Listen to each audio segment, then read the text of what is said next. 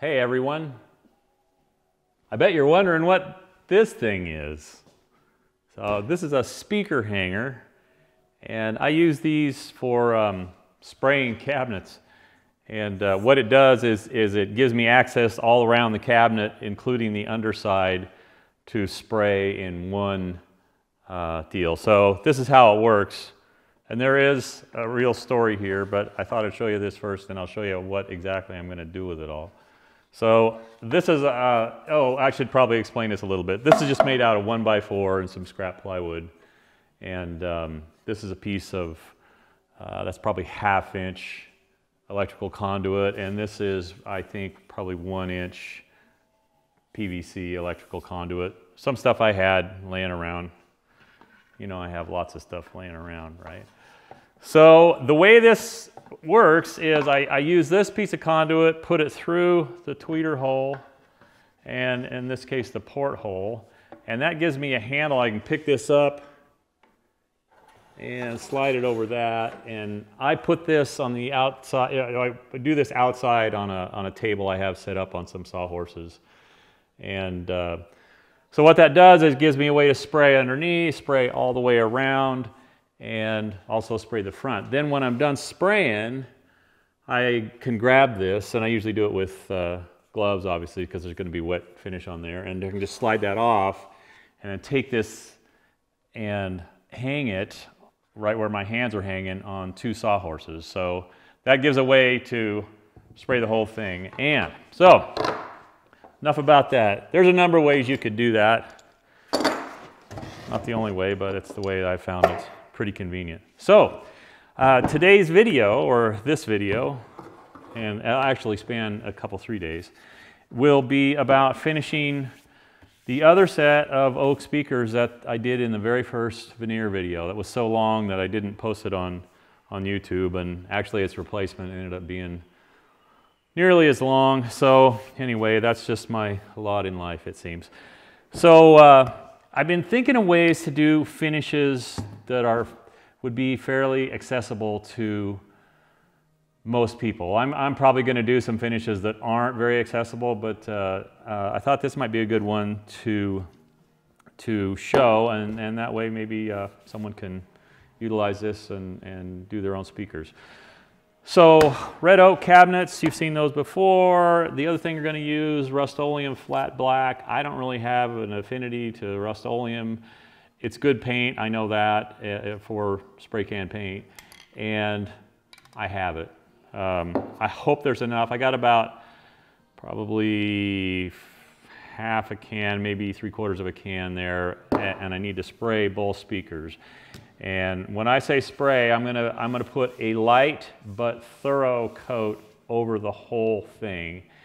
And we're gonna end up with um, what's called a rubbed, a rubbed off finish, or a, uh, it's um, a way to add a little bit of distressing and uniqueness that's real popular in furniture right now. And uh, we'll, we'll get there and you'll see how that kind of unfolds. Then top coat will be finish up, which you saw in another video. If you watched my other uh, finishing video, you saw this. This is a water-based polyurethane. This is their flat sheen. And one thing I should probably mention, anything that has, uh, that says flat or satin or anything like that, it's gonna have what's called, um, what is it called? Flatting compounds in it. And those flatting compounds fall out of suspension. So you want to make sure whatever product you're using that you're either stirring it if it or you can shake this stuff as long as you don't use it immediately. And uh, so anyway, a word to the wise there. And then another, we'll come to a, a fork in the road where you can take the finish two different ways. And the way I'm going to do is the more elaborate. Really? Peter doing elaborate stuff? Yeah, I think so. Anyway, um, I'm going to use TransTint. And as always, I'll put photos and links where you can uh, look at this stuff. And then I'll leave the resourcing of it up to you. There's a number of places you can get TransTint. This is made by a company called Homestead Finishing. And uh, I think he sells on eBay as well as through stores. Anyway, not, not too difficult to find. Going to dilute that in denatured alcohol, even though it says fuel. It's denatured alcohol. That's what they used to call white gas. Uh, if you ever had an old pump up uh, camp stove, that's, that's the fuel that went in. So those are the things that we'll be using. So next video I'm going to set up and uh, I'm just going to spray paint these and uh, pretty um, uneventful to watch, I imagine. And I may fast forward through it, but uh, we'll get them black, let them dry overnight, and then come back on another segment and I'll show you the, the, the fork in the road, if that makes any sense. So uh, next you're going to see is spray painting. Ooh.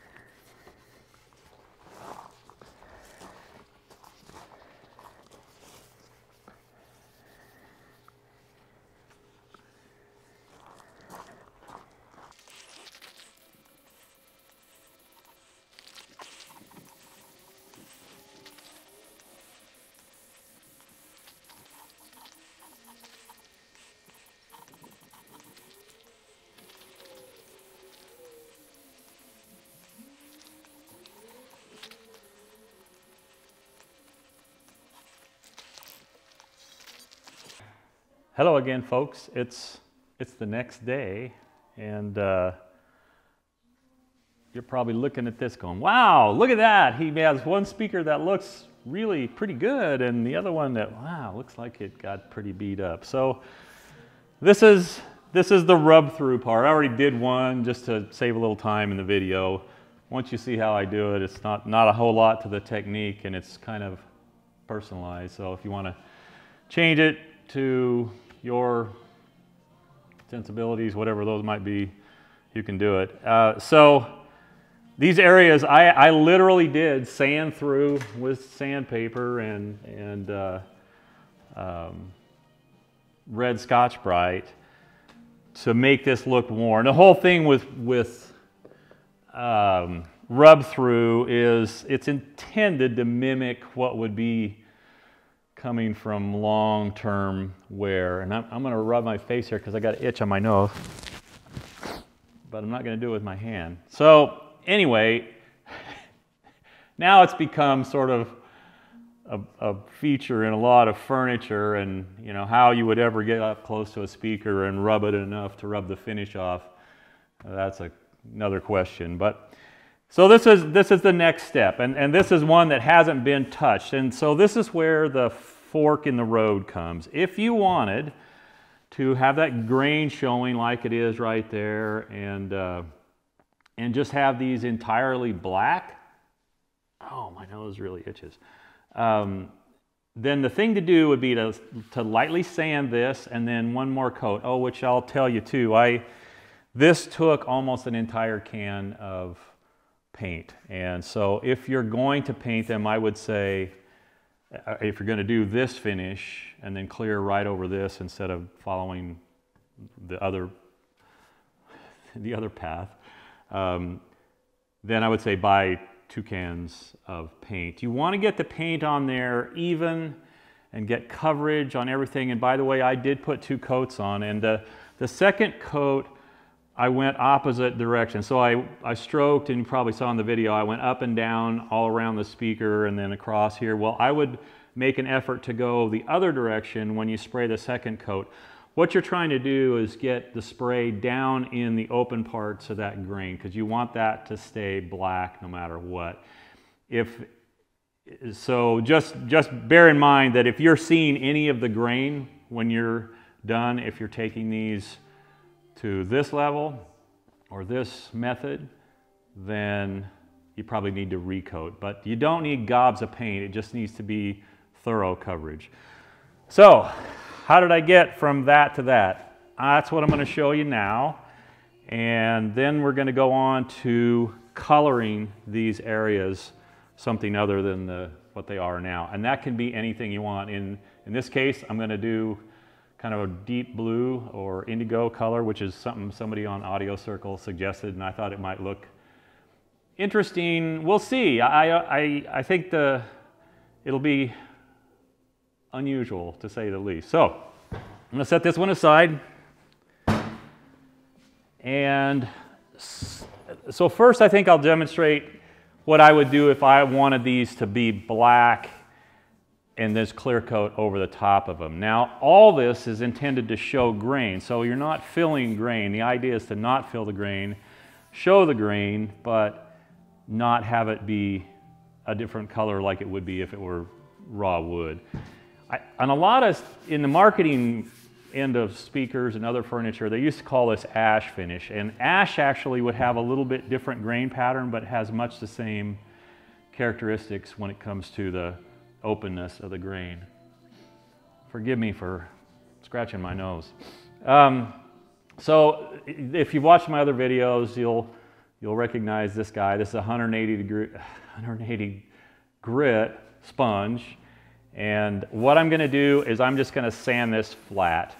And whenever you put first coat of anything on, it raises grain, not raises grain, but, but raises the fiber in the grain a little bit. So you want to you want to flatten that out before you proceed with more coats.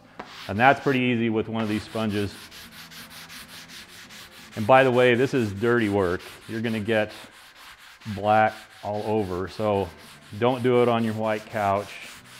Probably do it outside the house if, if you don't want it anyhow. So I don't know if that's real evident, but you can kind of see there the difference. I should, I'll, I'll do another part of it and show you. So I'm just trying to take off the, the sanding fibers, but not remove any of the paint down to the wood. So I'm going to do half of this. And this will, by the way, plug up your sanding block. And I, I blow those out with a uh, compressor, which you'll probably see me do here. So there you can kind of see when that flattens off, it, it hits the high spots but leaves some of the low spots, which isn't going to be a big deal because that, that's the grain you want showing through. I'll continue with that.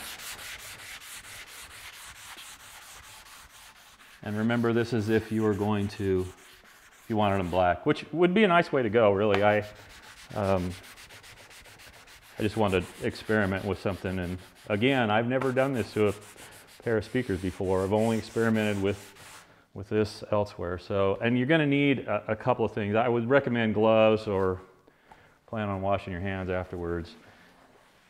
And throughout the process, you need to kind of eyeball along the way. So that's why I'm using this just to, to get the sanding dust off of there so I can see what's going on. And actually right here, I'm seeing a little bit of a, a sag in my paint job. So it happens.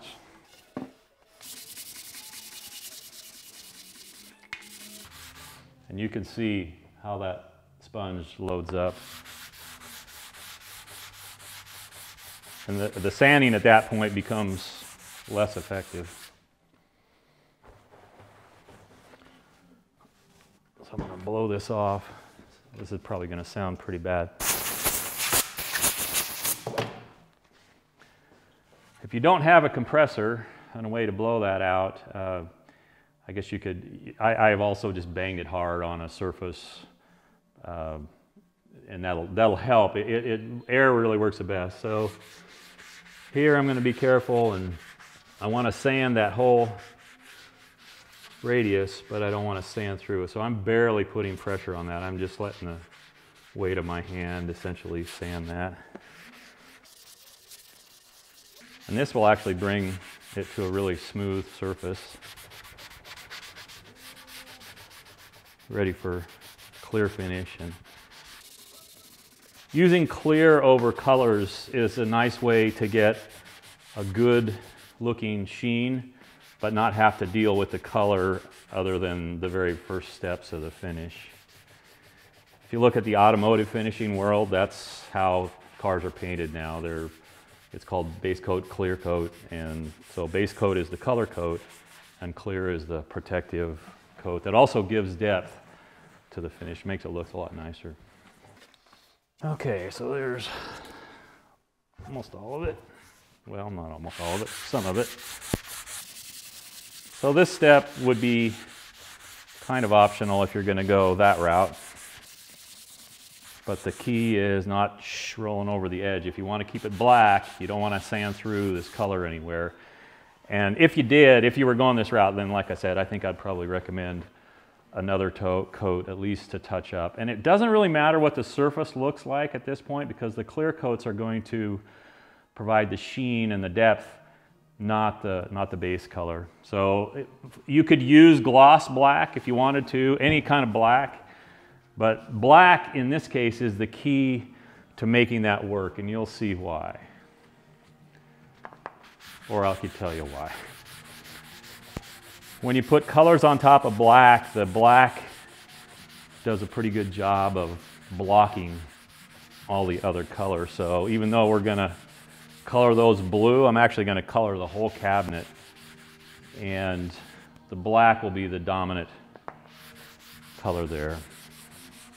So it won't look blue except on the areas where it's lighter colored now. Uh, I hope all that is clear. It will be soon enough.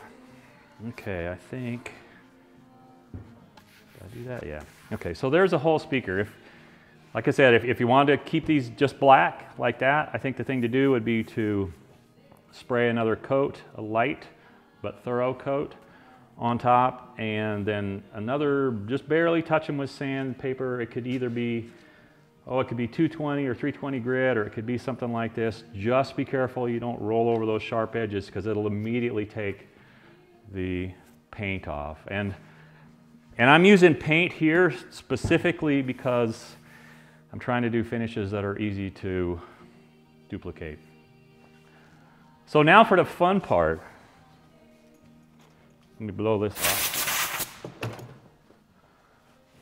So here's where we get to be kind of destructive. And you've got sort of a practice area on the bottom. That's probably never going to be seen. So if you're, if you're wondering about the process and not exactly sure how it'll unfold, then the bottom's a good place to start. So what I'm doing, this is 150 grit sandpaper. And by the way, these cabinets were sanded with 150 throughout before I started. And I, this is totally random and it's going to be different for everybody that does it. And you just take this sandpaper and I kind of imagine what it would look like if I rubbed on this or had something rubbing on it over a long period of time and how that would look. It, I guess what I'm trying to say is you don't want it to look like a mistake, yet it, it, it, kind of is uh, uh, an odd thing to do to, to finishing, but that's just the way the finishing world is. So then I come up near a corner and I just start sanding until I get down to wood. And that can be any shape. I would not recommend that you go around and around or, or cross grain with the coarser sandpaper. You'll see me do it with this stuff, but so I'm just putting pressure on my finger. You could wrap this around a sponge or all kinds of different ways to accomplish this, I suppose. Use your imagination. That's, that's what I'd always encourage, I guess. I think probably one of the hardest things to accomplish in stuff like this is you want to make it look like it kind of occurred naturally, but yet you're, it's very synthetic in the way we accomplish it. So there is what it's like with the sandpaper. Now to my eye, you can definitely see areas where that looks like this motion was what was at work. And I prefer that to look a little more definite in terms of direction. So that's where I'll use Scotch-Brite, red Scotch-Brite, and I'll go, I'll sort of try and open those areas up, for lack of a better description. So I'm going kind of diagonally at 45 degree angle, and I just sort of watch how they kind of unfold in front of me, and I, I do that with no particular methodology other than I just want it to change the look. So, and, and you're going to want to use some kind of a, you know, don't use the good towels, I would say, but some way to wipe off your sanding residue because it'll kind of shade things. So you can see, you know, I want these blends to be, uh, what do I want to say, fades, not, not sharp edges, but, but I want it to fade from one to the other. And here, here's a good example. That, that fade looks pretty organic to me. This one over here, that actually doesn't. So uh, I, I do this randomly. And it, it, the nice thing about this is you can't make too many mistakes. Now there I just changed the character of that by kind of blurring the edges a little bit. And with this fine of uh, grit, you don't need to worry too much about sanding, although, or across the grain sanding. Although if it looks, if you see definite cross grain scratches, it might be worthwhile to spend a little time and, and take them out. Either go back to the sandpaper or just with this. It's a really forgiving process, which you know is nice in wood finishing because in fine wood finishing, um, forgiving is often not a characteristic that many people would say was there. And if this was really being rubbed through by some kind of wear and tear over, over the years, the edges would definitely get some of that. So I'm careful to kind of leave those. You can take the edges down to wood really fast with something like this. So um, it probably isn't even necessary to, to use the sandpaper. Just use this if you're going to do that. And I'll, I'll show you what I'm talking about here. And you can see why I'm wearing an apron. This is dirty process, really, really dirty. It's because you're just making a whole bunch of black dust. And there is, you can kind of see what I've done. And here I'll, I'll do what I would call blending. And there I roll over the edge a little bit to kind of take some black off of there. This will give your arm a workout too.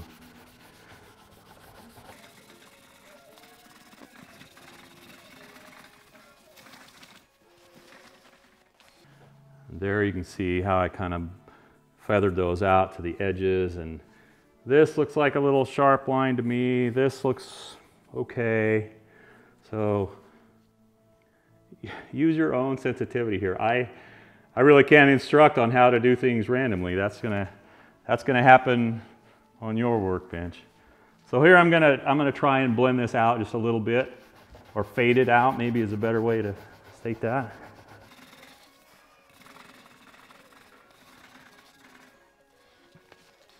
So there you can see the result of what I did. So I'm, I'm trying to have that go from light to dark in a, a fade that looks organic, I guess is the best way I can state that. And that looks good to me. So remember your bottom is kind of your practice area and then once you get onto the, the sides, the top, the front, you'll have your method all figured out, right? So this is just one way to distress a finish. There are many ways. but I thought this might be kind of a fun one to experiment with. Because you're not likely to see something like this in the commercial world. And for, for one thing, it, it, it, takes some effort to do. And it's always kind of funny in my mind. You take something that could be nice and you sort of intentionally screw it up. But that's that's a lot of the commercial finishing right now. The fine finish is not the hallmark it once was. People want that sort of worn in, rustic, distressed look.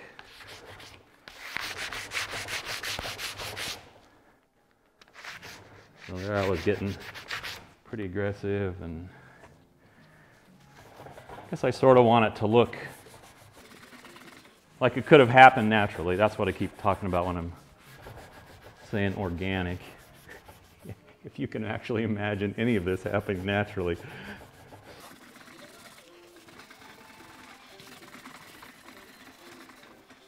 I can hear my table making lots of noise here, so I don't know if that picks up on my mic or not.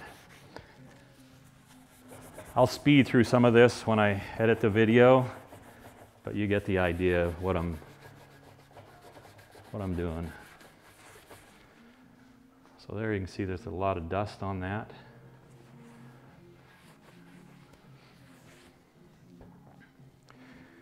And then, so when I look at this, that looks kind of sharp edged. These less so. That maybe needs a little blending. I just like to see that transition from black to underlying wood sort of blurry. But if you're doing this, do it what looks good to your eye. And you can put, uh, one thing I'm doing right there, I'm putting lots of pressure in one area with my thumb or my finger so I can sort of change the way it looks just with pressure on my hand.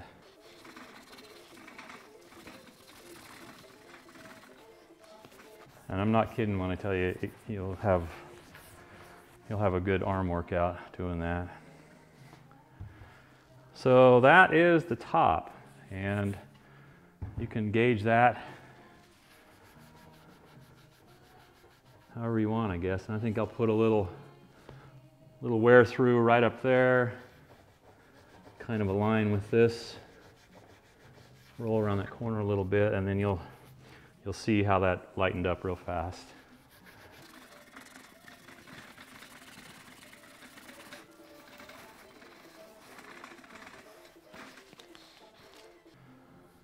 You can still see the direction of the grain, but uh, that blends it out a little more and then it comes up here. So Move on to the side here. Again, 150 grit. I, I started on the other one with 120, but it's a little too aggressive. You don't want to show sanding scratches, or at least I didn't. I, I guess there's another way of distressing where you actually do show sanding scratches. You would purposely go cross grain because that, that sort of rough look is, is what you're after. It's hard for me sometimes though, because I, I look at, I spent my whole life trying to learn how to do fine finishes and then I purposely booger things up, which kind of goes against my grain, I guess.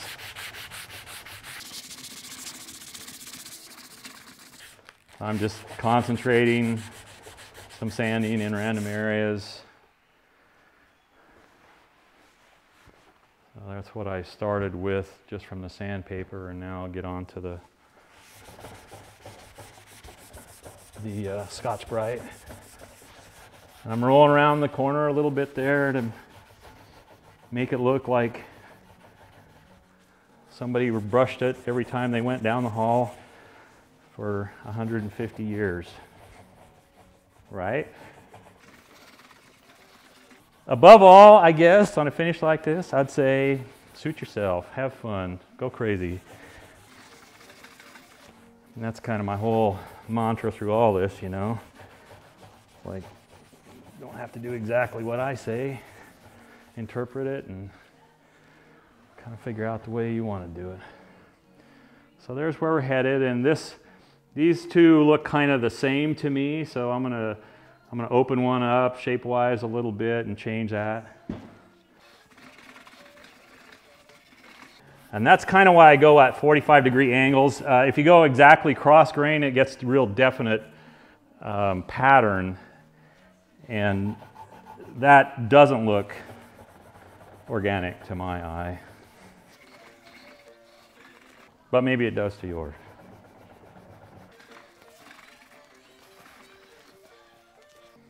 And again, I think I want a little sand through here. And maybe one up here.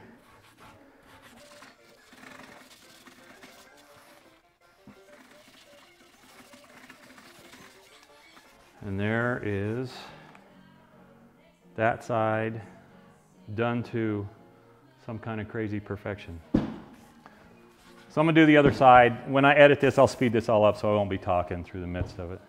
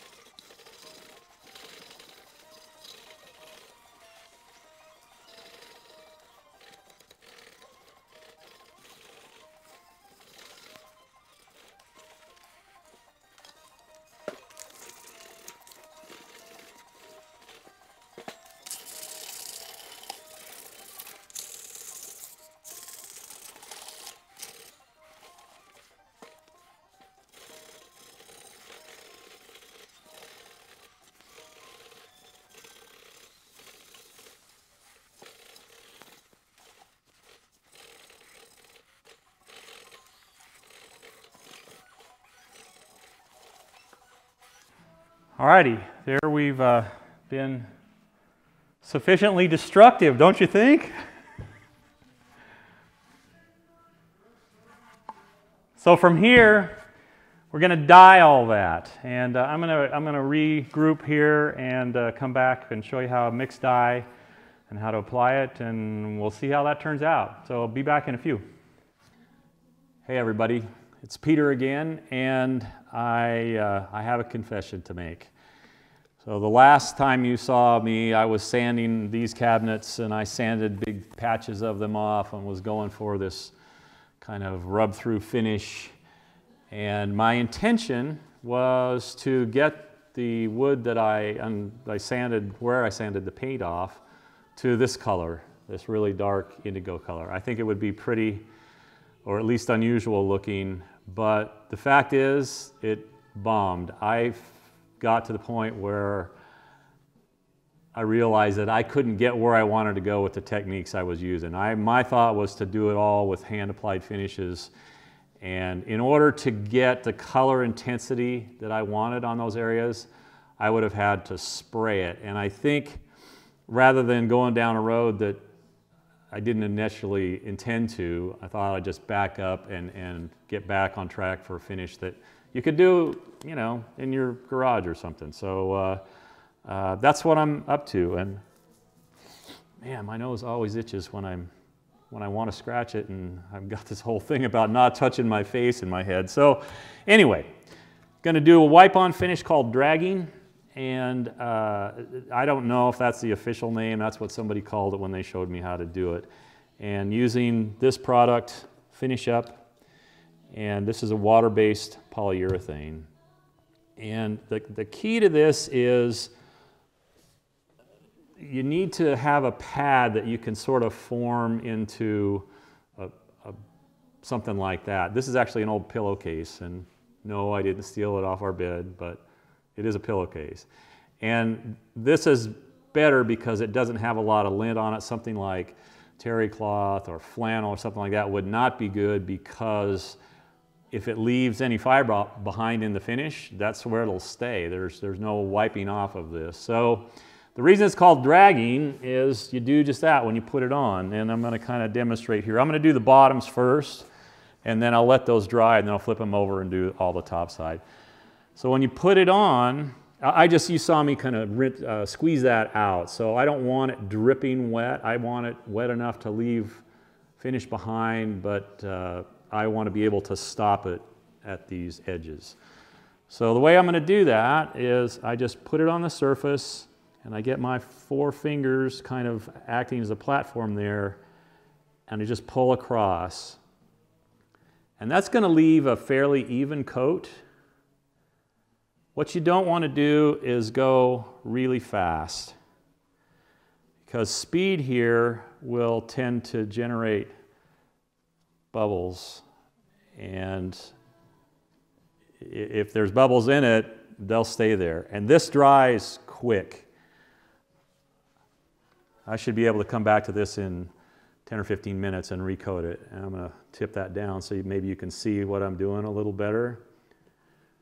And you can see why it's called dragging or pulling. I've heard it both ways. And the idea is to go slowly but get a thorough coverage. And you can see here, now by the way, this stuff, it looks white, but it dries clear, which a lot of water-based finishes I found are. And you can also see it's actually starting to dry there. So uh, you can't take too long, but uh, you know, it's, it's, a, it, it's something that I guess you develop a feel for. And I've actually recoated kitchen cabinets this way, and they can look really nice. Prep is important, but uh, let me tip that up and you can see this a little better. So I'm just using my fingers as kind of a, a uh, flat surface there and just pulling this thing across. And again, we'll build up several coats, probably put at least three coats on. So hand applied finish, but you can, with successive coats and a little prep in between coats, you can get a really nice looking finish. So that's how that's done. Like I said, I'm gonna let these dry and I just store this in here.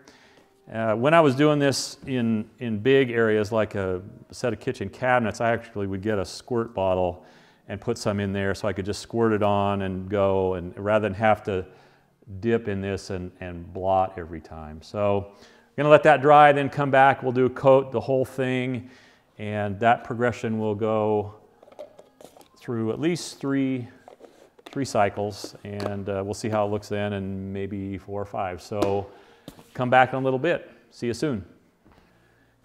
It's been about 10 minutes, and this is dry it's not absolutely dry, but it's, it's going to be dry enough to, to set things on. It probably would be an overnight cure kind of situation. But, and I do make a distinction between dry to touch and completely cured, and that's true of most finishes. Um, but I've used this enough to know that, that it can uh, it can not stick to blocks like this. So I'm going to finish this, and I'm going to try and set it up so you can kind of see the whole thing. So I'm going to uh, uh, finish this all the way around and, uh, and then let that dry. And, and you could do this by putting two or three coats on the bottom and then flipping over, but uh, for the sake of demonstration, uh, I'm doing it this way. And uh, one thing I should probably kind of caution you with, anything, you want to make sure this is dust free. If there's any sawdust or anything on it, it, it's likely to stay there and it'll become a part of the cabinets once you put the finish on. And so we'll just go ahead and get started here. I'm going to be sort of working over my, I hope that is easy to see. And, and you can kind of see, I've, I've got that a little too wet. So I'm squeezing some of that out. If you get runs and drips like you see coming off of that right there, you might even have a rag around that you can blot it on. And here I'm going to point something out. See how that's built up down there? You don't want that to happen because that'll, that'll dry just like that. So damp And even now I'm a little too wet. So make a point of squeezing that and and I'm just blotting my hand to kind of get any drips on my hand or any drips around this off. And you can go cross grain, but you want to finish your last stroke with grain, I think. That way, if there's any directional, and this will dry with, with a little bit of directional stuff in it. Uh, what do I want to say? I mean, it's kind of like brush marks, but obviously not a brush. So once I get it completely coated, I can drag up that whole surface. And key here is don't want to get so much liquid on the pad that it that it forms either a, a drip on this surface or a blob on that surface. That's a technical term, blob.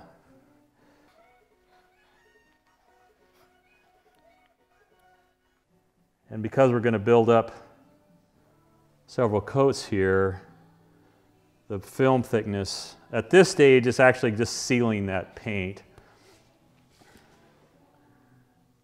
And it'll be easier to build as we get successive coats on. And before, you might have seen from the camera, and I didn't notice until I, until I went around to shut the camera off that uh, I had a drip on the front. And you can, you can just wipe that off with either this or another rag. But if, if there's a drip or a run or a sag, and now I'm getting a little dry here. This is where that squirt bottle came in, and I may, I may introduce that in the later parts of this video. You can see I'm holding this a lot of different ways. I'm going to push this forward so it's not making noise.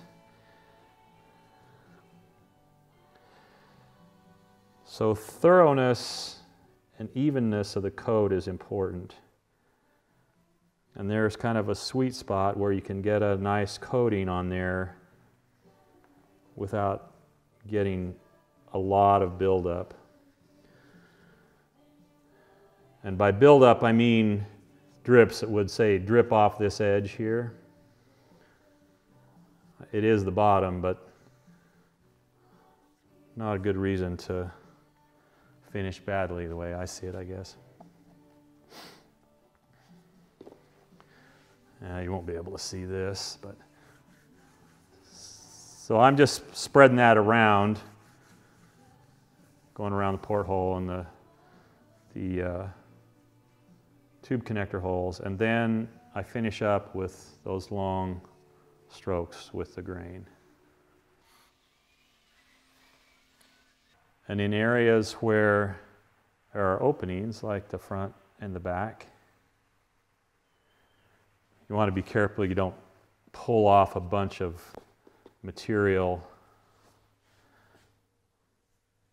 or I should say, a, a, bunch of finish into the opening. If it, if it flops in there and you get a drip inside, it actually might, uh, on the port anyway, it might not slide in as easy as it should you know what, that's, that's probably hair splitting, but you know, I'm good at that, so.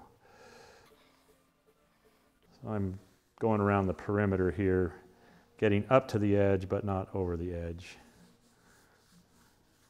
It's that whole thing about getting the finish on and then kind of this is actually true of, of, brush finishing too. Sometimes you just get it on the surface and then your last strokes are the ones that finish it off. that will give it its final look, I guess you'd say, because this stuff flattens out pretty well, surprisingly well for a hand finish. And it almost doesn't look like it because it's white when it goes on. You think, oh, that's, that's too thick, but it, trust me when I tell you that uh, it, once you let it dry, and I don't know how easy that is to see. Maybe you saw it up here when, when it looks white, it looks like it's going to be weird. Another technical term. So now I'm just getting the perimeter done here, kind of carefully so I don't get drips over the edge. You can wipe that finish on and what I did there, move quickly, is not a good idea because you can easily get bubbles. And I just pull across here. Maybe slower than you think you'd need to go. But if you introduce air and bubbles into it, it will just cause you problems later on. And for a period of time, you can go back over it. But at some point, you just got to call it good and walk away. So I am going to get the other one up here, finish it. I'll fast forward through that. And then once this is dry, we'll come back to coat number two.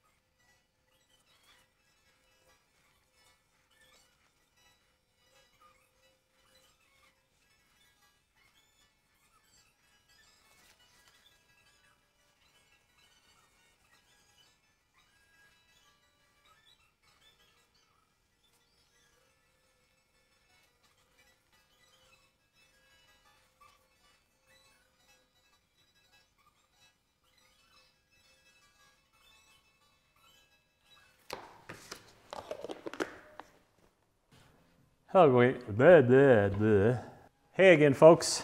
Uh, so these have been drying. I let these dry about an hour, and from here on in, that first coat kind of soaks in, dries really fast. From subsequent coats, coats, because that's now sealed, will take longer to dry. So uh, the instructions on the on the uh, bottle actually say an hour dry time, and from here on in, that's kind of what I'll be doing. So I'm going to just basically do the same thing over again.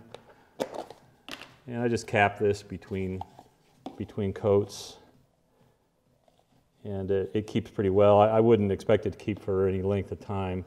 But uh, one thing I thought I'd do here is show you, and this may not be something you have around, but uh, rather than dipping this in there and having to kind of blot it, I, uh, I will sometimes use deals like this, especially on bigger projects, so you can kind of control the amount that you're putting on there.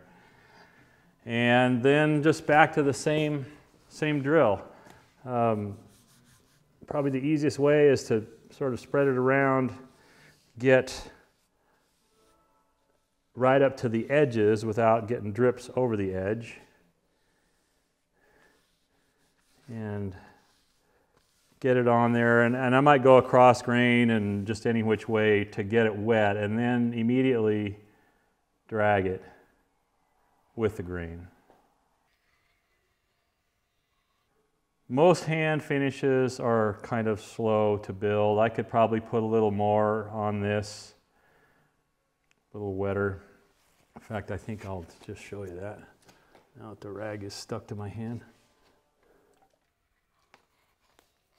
And you can do this if you do it immediately. You don't want to do this if, if it starts tacking up. Uh, the, the, the window to put more finish on is closed at that point. By tacking up, I mean drying.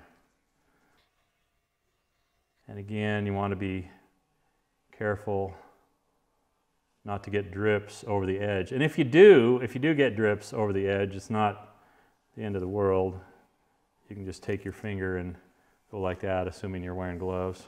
And by the way, I'd recommend you wear gloves. You're going to get really sticky hands, and this stuff is, is tough, so uh, it take a long time to wear off. So I'm going to do this other one and then let these dry for an hour. Then so these are the bottoms, and uh, I'll do this one and then flip them over and do the the, the whole all the other sides. There goes my alarm telling me it's time to recoat them. So it's a little early.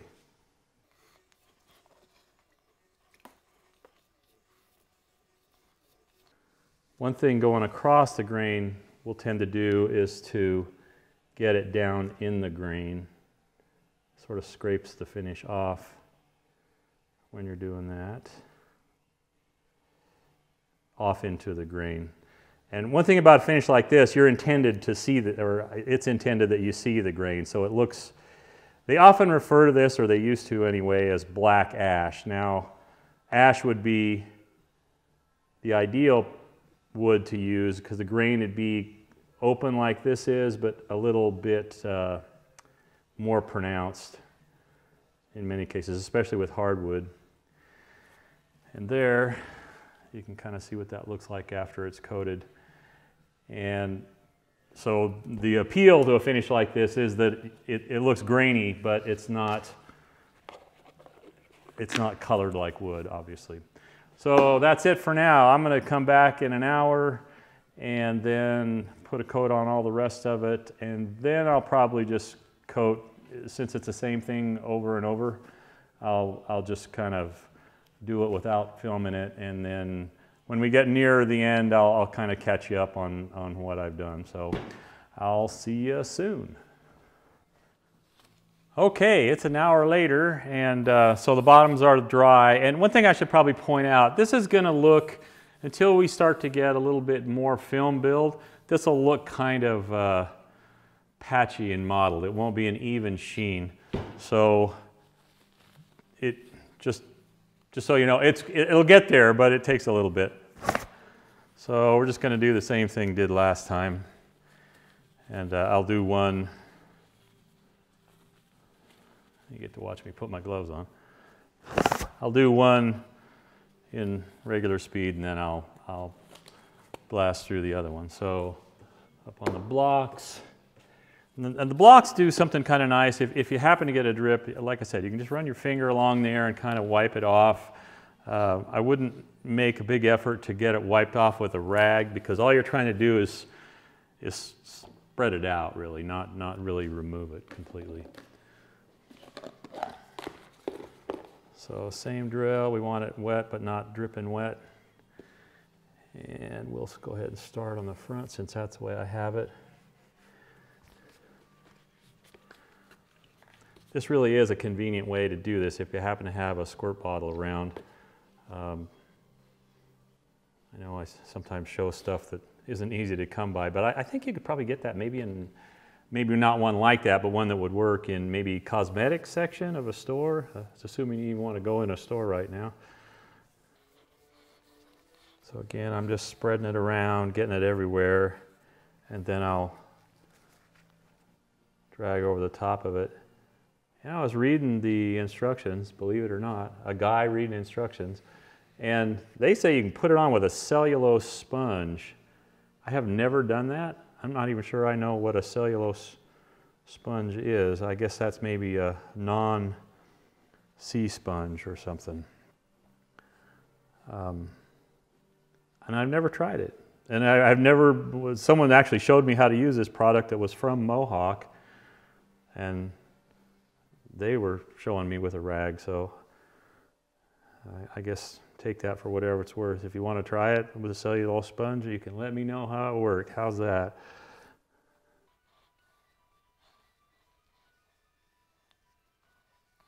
And you'll see that looks kind of streaked. I don't know if that shows up in the camera, but from my vantage point, it looks like there's almost brush strokes but they will go away. I, I guarantee you, uh, you will not be able to see them. And black's going to show them up worse than anything. When you're doing this on, assuming you did do it, on um, cabinetry that was wood and not black like this, it, uh,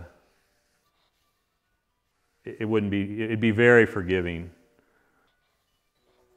Colors like this, and especially black, solid colors as opposed to you know, wood stain or something really show up flaws in the finish.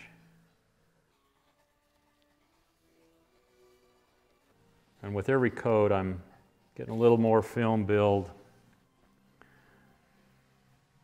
And I like to go slow on this stuff. To me, speed is not the goal.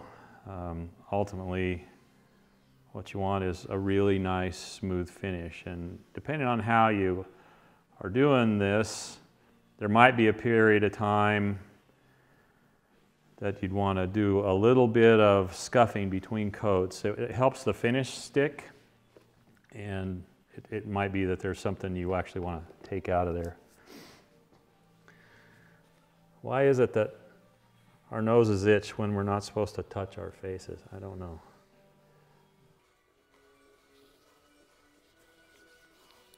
I hope that's evident to the camera uh, that you can kind of see the, the lines and then obviously I'm going against the grain so that's not where we'll end up but it might look like I'm not following my own advice here. But what you see there, especially in the last part of my stroke, I don't know how evident that is, but you can definitely see little lines of that. And they will go away. Um, I, I, don't know how better to explain it. it. It does. It really does. Trust me. They actually probably don't go away, but they show up because of this stuff looks white, and when it gets clear, they're not going to be as obvious. In fact, they're not going to be obvious at all in my experience. But we're definitely doing something. I guess now that I think about it, this is a first too. I don't think I've ever put this finish over black. So fortunately, it's not bombing like the like the other one that I attempted. All right, so we got the back sides and now the top. One cool thing about this finish is it's tough. And polyurethane in general is tough. This stuff seems really, really durable. So I, I don't know what you'd be doing with your speakers that you need that kind of durability, but kind of nice to know that if you move them from house to house or around the room or to another room or something like that, that you're not going to be risking them. Uh, they're not going to be frail, let's put it that way. Because who wants frail speakers, right? Okay, set that on my drying rack.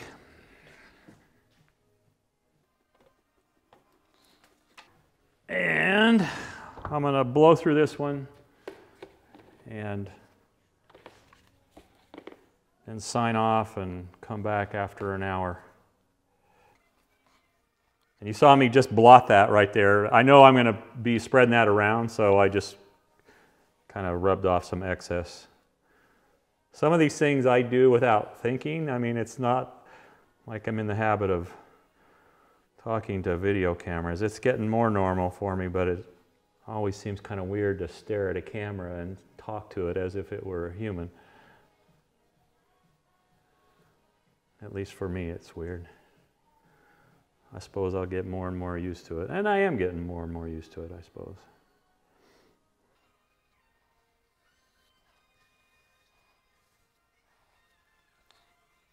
One thing I have noticed about this finish, they call this flat and it does not seem as flat as what I would call it flat. It, it seems more like the, the dull end of satin, I suppose.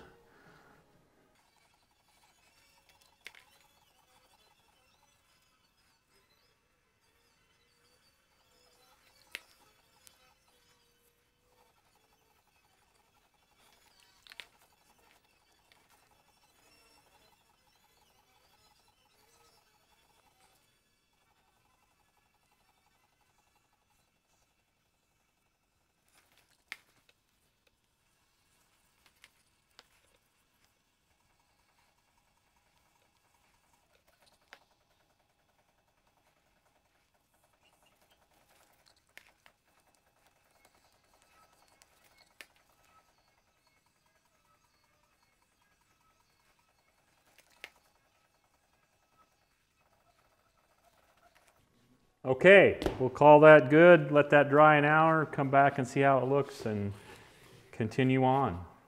See you soon.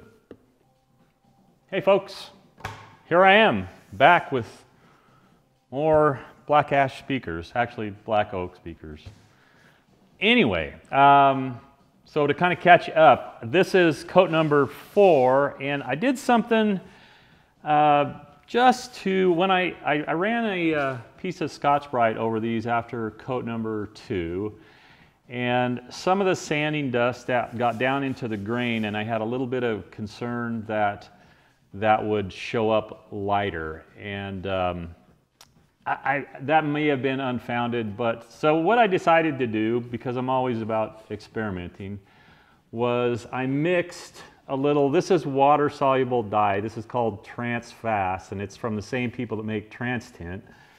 And uh, this is only water soluble. So it's powder, and I probably put, oh, this was maybe a half inch. I'm going to guess that was maybe two ounces of, of the uh, finish up, and probably a pencil eraser or so worth of this. This stuff is really concentrated. So what it turns out to be, and, and this looks gray in the bottle, but bear in mind that this, the stuff when it goes on is whitish, and when it dries, it dries clear. So I tinted coats three and four, and these actually look pretty good at this point. I mean, many people would probably look at this and say, well, this is good enough. And, uh, but you know me, man, always striving for the, the higher rung on the ladder. So what I'm going to do is I'm going to uh, scuff sand these with the gray Scotch-Brite, and then I'm going to coat them with two coats of clear. I'll, uh, I'll just dump this out and put clear in this thing. And I also discovered a, an easier way to sort of get this stuff onto the surface in bulk as opposed to just putting it on with the rag. And uh, so I'm going to quickly sand these, then I'll kind of get set up and, and show you that technique of coating, which I think works a little better. And, and one thing I should probably point out too, as you do this, the surface will get more and more even in sheen. In the beginning, it really looks like something is going wrong, but it's just because the coats are so thin and going on so uh, what do I want to say, that, that you still get some of that non-glossy area showing through, but it eventually gets to an even gloss. And there's a slight bit of modeling right now, but uh, I think I can take that completely away with a couple of coats on top of the clear. And they look really, really black, which is what I was uh, going for. So uh, let me scuff these up and I'll talk through one. And this is not anything more than just putting a little bit of a, uh, a, scratch on the surface and they should be smooth at this point. If, if they're not smooth, you might actually want to sand them, but this just puts a little scuff on the surface so that the uh, next coats have something to, to stick to.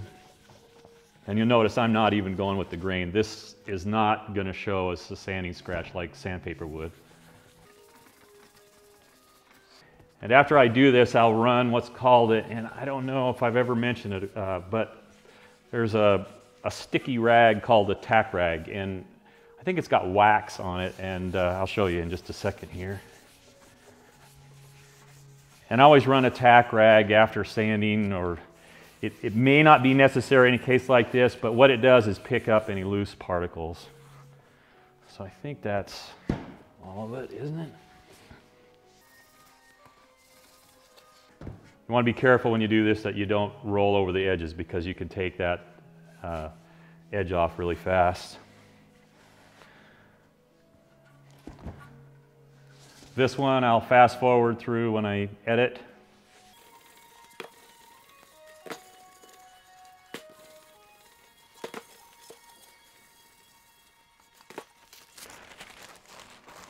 And this is a tack rag. And you can see I've, I've used that and it's picking up.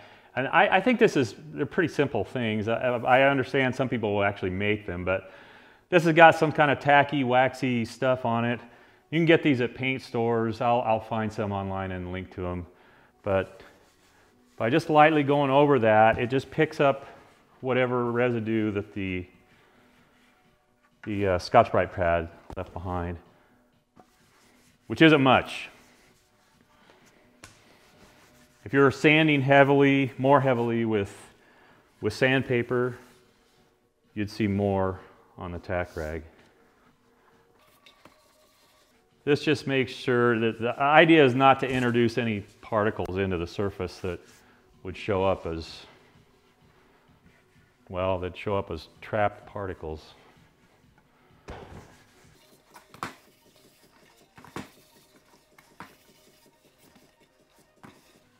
So the idea here is to get a finish that looks like it could have been sprayed but was hand applied. So there's, there's a way to get there, I think.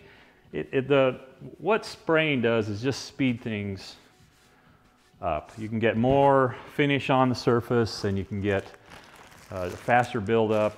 And, uh, but I'm, I'm assuming that a lot of people watching this don't have spray equipment.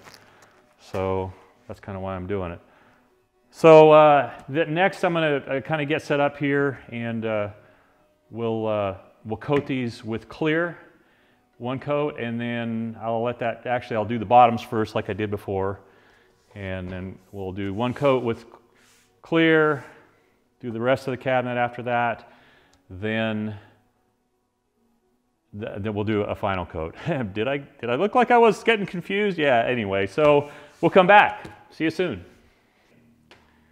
We are back in the saddle again. I uh, uh, dumped out the dyed finish up and got a new fresh rag.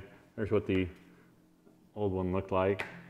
And I'm just gonna put a clear coat on the bottoms, which are what's up now, and then let that dry and then come back and do the tops. The same thing as before, but uh, one thing that I found was kind of useful, this wasn't absorbing enough. I can see why they say a sponge, and I never have looked into that, but uh, to, in order to, to get enough on the surface, I ha kept having to dip that in and or do this, which, which is a workable way of doing it, but I found, especially when I'm working on a, a, horizontal surface like this, that I actually can take a little with this bottle and, and put it right on there. I don't know if that's obvious to the camera. Let me tip that up a little bit. I don't want it to run over the edge, but that's what I'm doing. It's just getting, and that's exactly what I did want it to happen.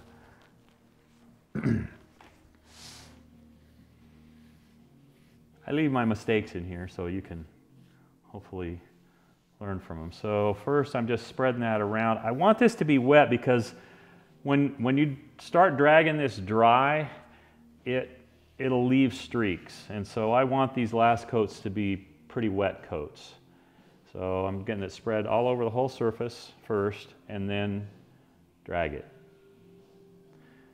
And that should give a nice, smooth, finished surface and any irregularities in the, the surface finish will be running with the grain.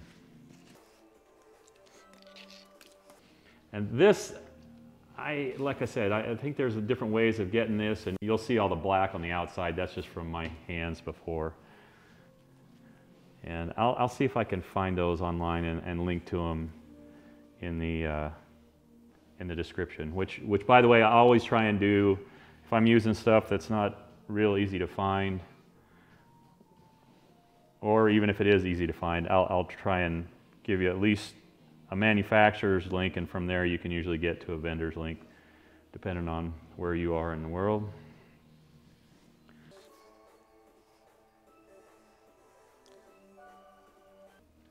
Okay, that's it. We'll let that dry. So that's going to dry an hour. Then I'll come back, flip them over, and we'll do the rest. See you soon.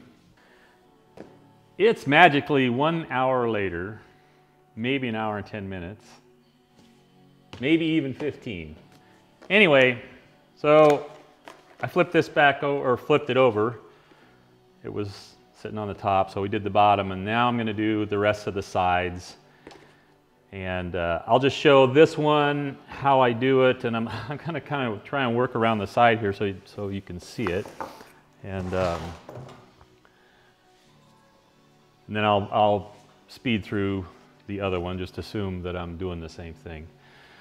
So the way I found to do this that seems to work pretty well, and drips that go off the bottom are not going to be your friend.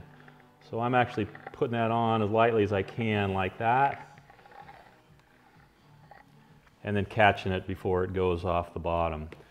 And what I'm trying to do is to get a, a, a fair amount of material on there without having a dripping wet applicator.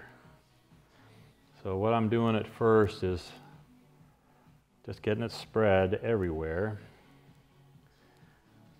and then pulling that surface.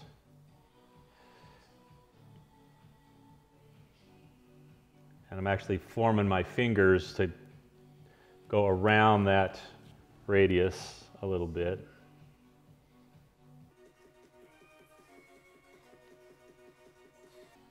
Then I'll pull the other direction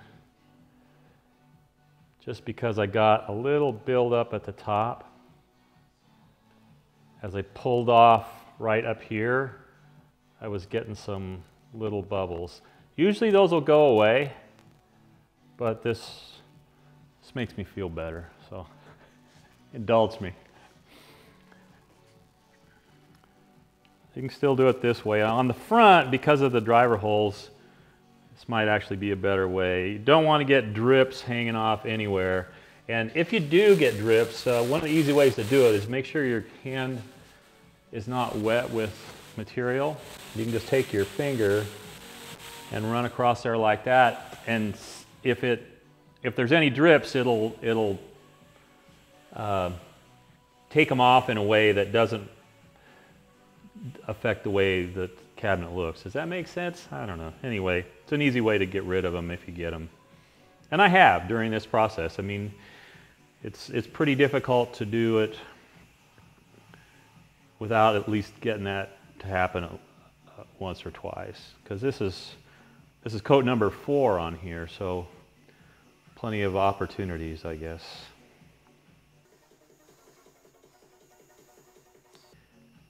One thing I may do, I was looking at the, uh, let's see, maybe I can turn this a little bit.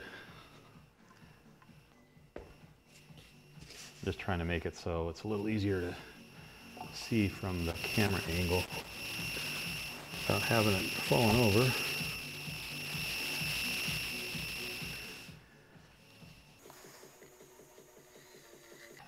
So I'm just dragging that back and forth. You can kind of hopefully see that, and I'm catching those drips before they run off. And it doesn't hurt to be holding this down if you're standing it up on blocks like I am. And that's helpful. And you can see I got a drip right there. Um, so I'm going to quickly run my hand across and spread that out so it doesn't form a, a drop underneath because that'll dry hard and you know assuming you want to remove it you'll have to sand it off. Sometimes after I'm all done, I'll run my hand around my, my dried hand. You want to make sure you're not applying material with your finger and just drag around the outside. And you can look at your hand and see if you've dragged off any drips, they'll be wet on your, on your glove. And I'm using your and mine interchangeably. So when I I talk about we, I guess what I really mean is me. Oh, one thing I was going to say, um, I'm just going to go ahead and talk while I do the back. The, uh, I really liked the way that the, the, this finish, because of what it is, water-based, it, unlike oil-based finishes and most solvent-based finishes, it doesn't have any color to it. it doesn't have any amber tone to it. And um, consequently, things look kind of cold and it almost looks whitish or bluish. And that's been an issue with a lot of water-based finishes. They, they don't bring any warmth to the table. And in some cases, they're actually adding amber color to water-based finishes so that they do bring or warmth, warmth, I can say that, warmth to the table. And uh,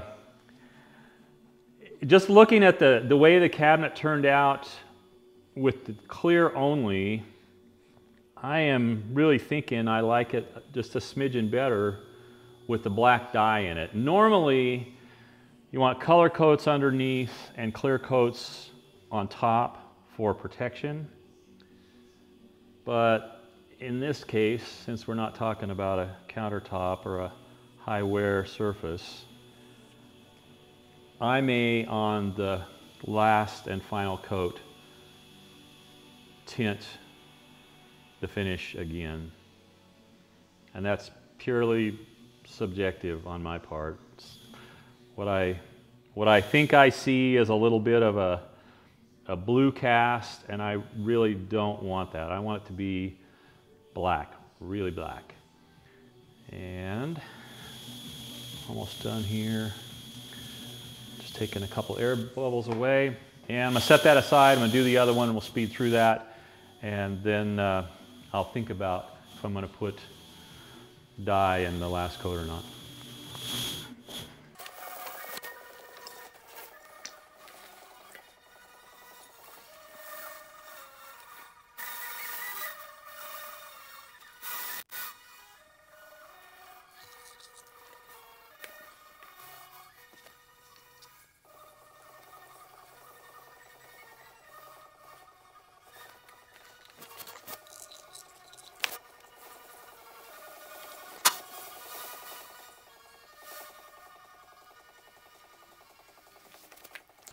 You saw me blow into the uh, tube connector hole because I got a drip in there and if I let it dry it'd interfere with installing the, the connector and I'd have to somehow dig it out of there either run a drill bit through it or something like that.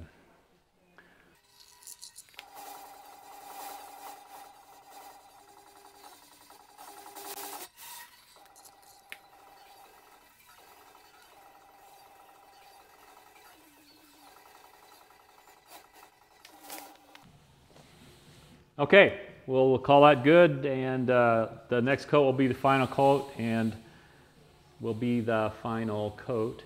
And I think I probably will use dye on the last one. I just think it looks a little bit blacker. So, see you soon.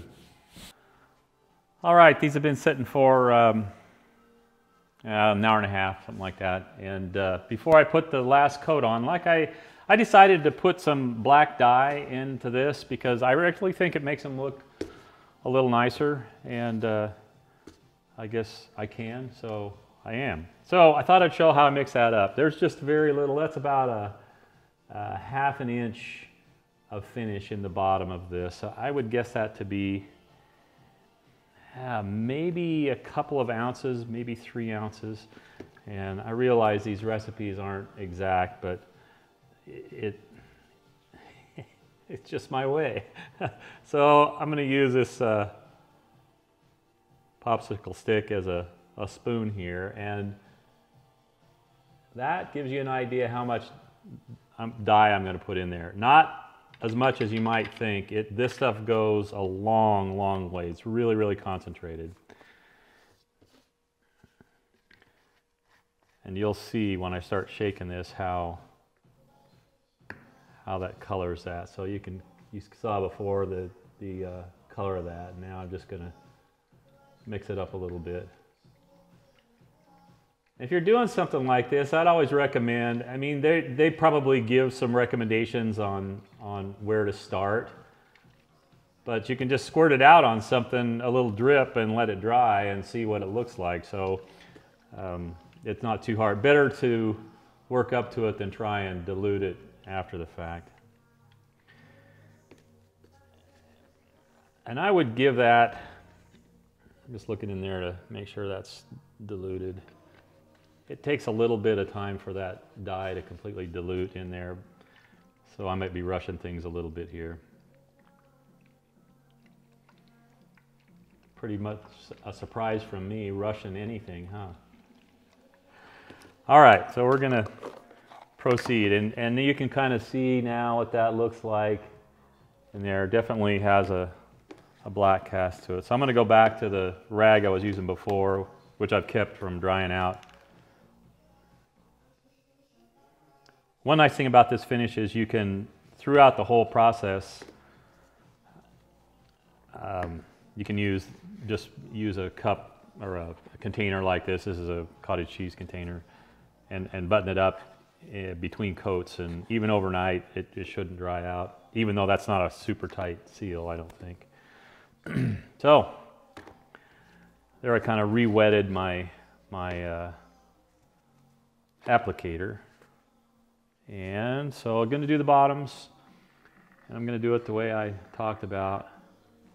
Let's get the polyurethane on there, get it spread around, sort of evenly distributed, and then drag it.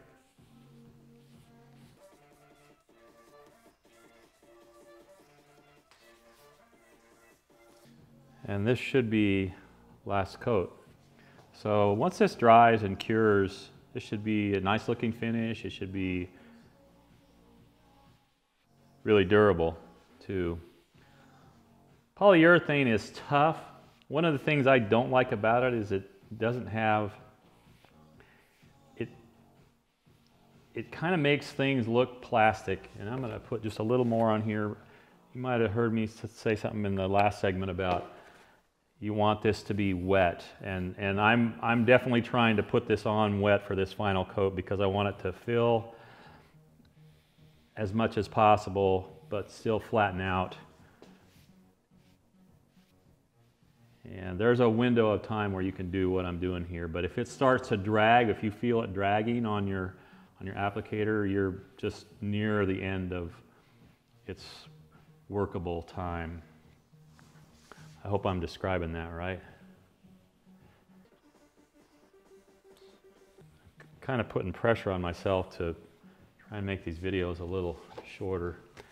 And uh, so there's one, and I'll fast forward through this one.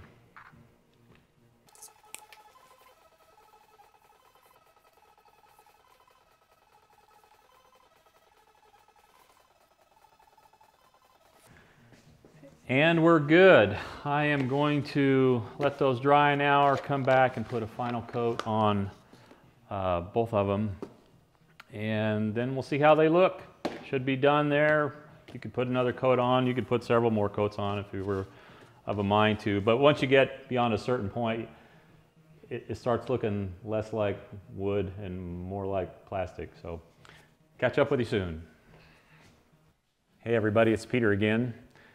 And uh, look at this. We have mostly completed speakers. Uh, well, speakers that are driverless and crossoverless, but boxes nonetheless. And uh, uh, so I left off, I think, a fourth coat, and, and uh, bear in mind that, that I do these segments as uh, when I edit them, I put them all together, but uh, it's been about three or four days since I actually put the last coat on here. So if I'm covering ground twice, that's, that's why.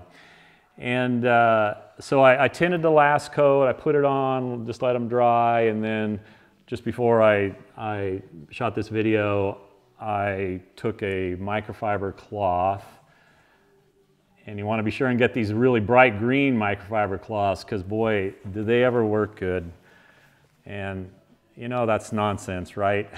it doesn't matter what color your microfiber cloth is, these are really bright. I don't know and they're easy to find, I guess. But uh, so I, I, often use uh, microfiber is cool in that regard. You can you can buff finishes with it, and it, it sort of evens out sheen sometimes.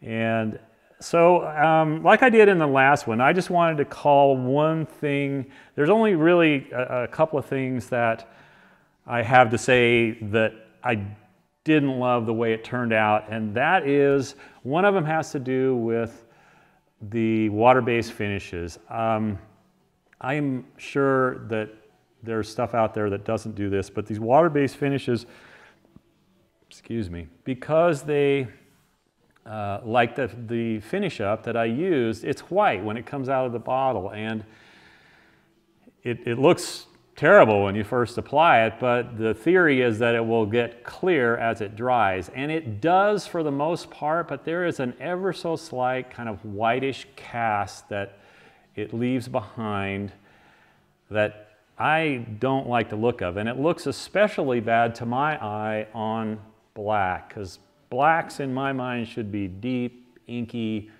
black, not grays. And that's kind of what it makes it look like. It almost looks like you're looking through a, a piece of glass that was sandblasted or something. It just doesn't have that pureness of color. And that's why I added the, the black tint to it. And um, I maybe should have finished another one alongside these just to see if I could tell the difference, but I'm pretty sure I could. I could see it coming through on that third coat, and that's why I decided to tint it. So um, expect that, but I don't know if you'd even notice it inside of a house. Under my lighting in here, it, it, shows up all the, the warts on, on whatever I'm doing. And that's intentional. I want good lighting that, that renders color well, and, and that's what I intended here. But um, honestly, unless I get these in just the right light, I don't even see that. So there is one thing. The other thing, of course, is the magnificent bomb that I tried with the original finish that I was going to do, which was the, the rubbed off distressed finish. it was it was a total flop. I absolutely broke my own cardinal rule and I went to work on that thinking I could stain the wood to that intense blue that I wanted.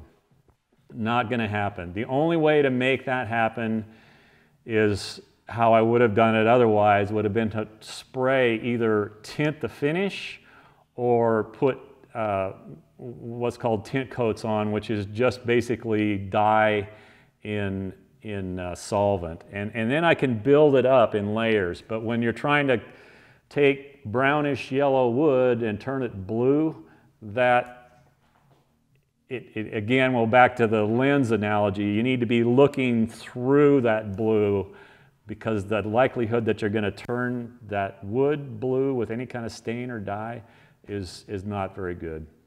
Suffice to say, learn from my mistakes, and that was indeed a mistake. And I'll, I'll probably edit some of that and, and put it at the end of the video so you, you can watch me flop if you want to.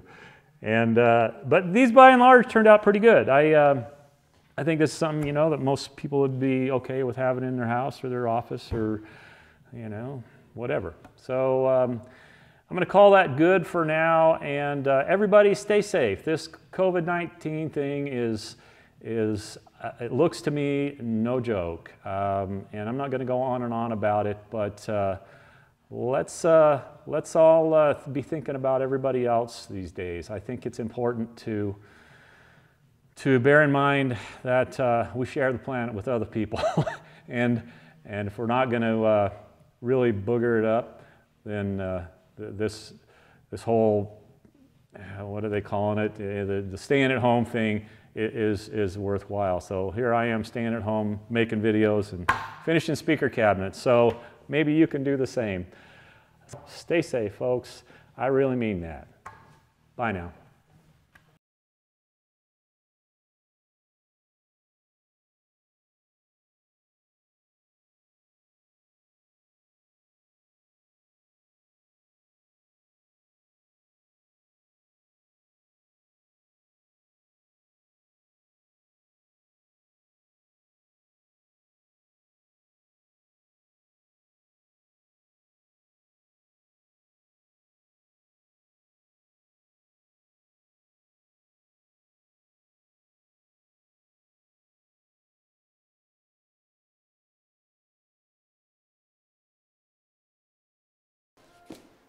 Now for more craziness. I uh, got a piece of cardboard. I get, I get the boxes that I ship XLS flat packs in, in another box, and they're these nice big pieces of cardboard, so they work out good for this. They're absorptive, and they add a little cushion, and they keep me from um, making a mess on top of my beautiful bench top, right? So here we are. We're to the uh, coloring stage, and I'm going to do this in blue It's going to be unusual. It might look weird. I guess we'll see. Uh, one thing that I can tell you that's a pretty sure thing. I got something in my cup there. Um, if if you want it to look a little more natural, you'd get a little closer to wood color. So I'd say browns, brown blacks. I've never tried it with gray, but gray on top of brown usually doesn't work out too well because you're, you're mixing a warm and a cold color, cool color together.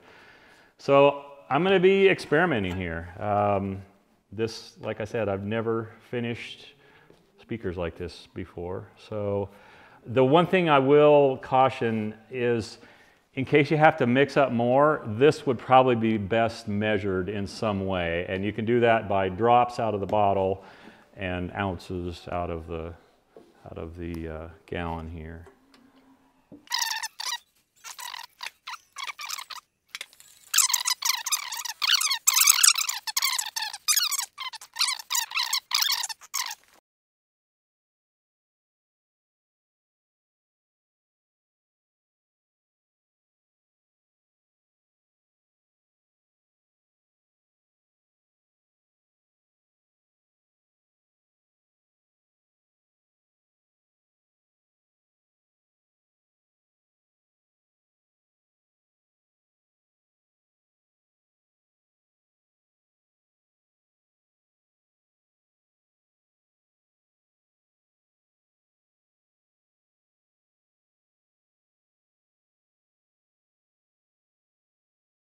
Then regroup and, and see what we can do to intensify that color a little bit. I let that dry and then I flipped it over. And what I'm going to do is I'm going to coat everything so it's all the same. And that way, whatever effect I have, and I can't undo this. So at this point, I'm committed. So you get to watch me uh, roll with the punch, I guess.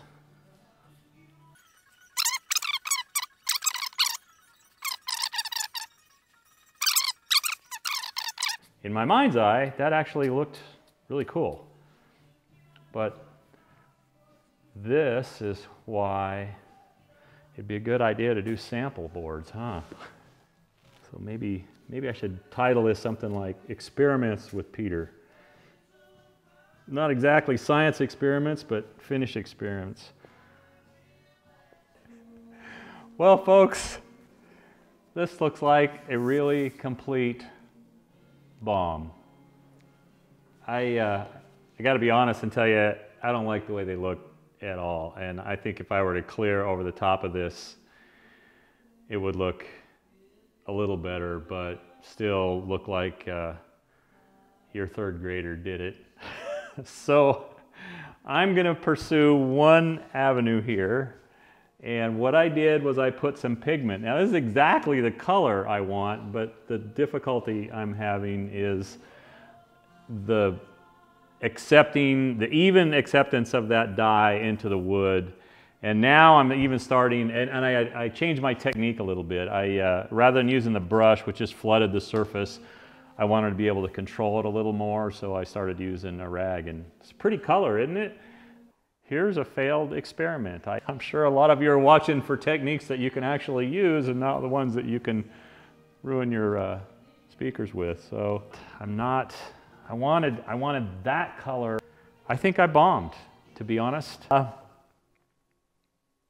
this is a botch. I would say this is not a workable not all experiments turn out the way you think they will. I wish this were different, but uh, I think at this point, going back to paint actually might be a better plan